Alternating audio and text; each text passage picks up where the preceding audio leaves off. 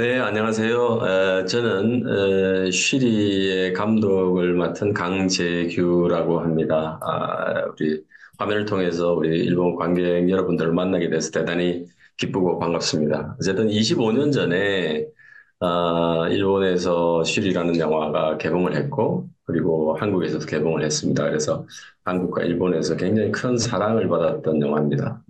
그 속에 나오는 많은 배우들이 있습니다. 우리 한석규 씨, 송강호 씨, 최민식 씨, 김윤진 씨.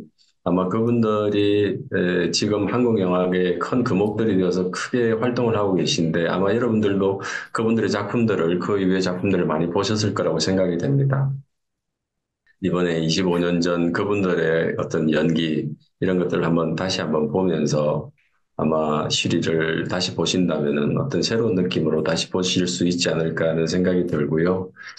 아, 그 다음에 결국 이 쉬리라는 영화가 결국 한국 영화에 있어서 굉장히 어, 성장에 큰 어, 미끄럼이 되는 그런 영화이기도 하고 또 일본에서 어떻게 보면 한국 영화를 어, 알렸던 음, 그런 원초적인 영화이기도 하기 때문에 네, 그러한 지점에서 아, 과연 이 영화가 어떤 영화길래 그 당시에 개봉 당시에 한국과 일본에서 큰 사랑을 받았을까 이런 것들을 좀 생각하시면서 보시면은 훨씬 더 흥미롭게 영화를 감상하실 수 있지 않을까 생각을 합니다. 어쨌든 여러분들의 많은 성원을 부탁드리고 많은 분들에게 우리 시리 많이 예, 소개하고 알려주시면 대단히 감사하겠습니다.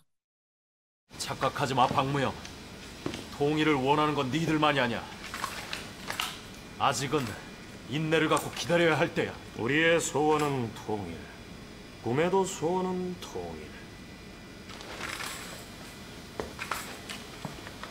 니들이 한가롭게 그 노래를 부르고 있을 이 순간에도 우리 북녘의 인민들은 못 먹고 병들어서 길바닥에 쓰러져 죽어가고 있어. 나무 껍데기에 풀뿌리도 모자라서 이젠 끝까지 파헤쳐 먹고 있어. 새파란 우리 인민의 아들 딸들이 국경 넘어 매춘구해서 그것도 단돈 100달러에 개팔리듯이 팔리고 있어.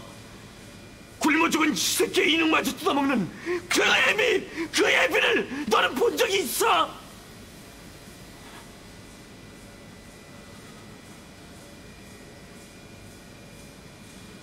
썩은 치즈에 콜라, 햄버거를 먹고 자란 니들이 알 리가 없지.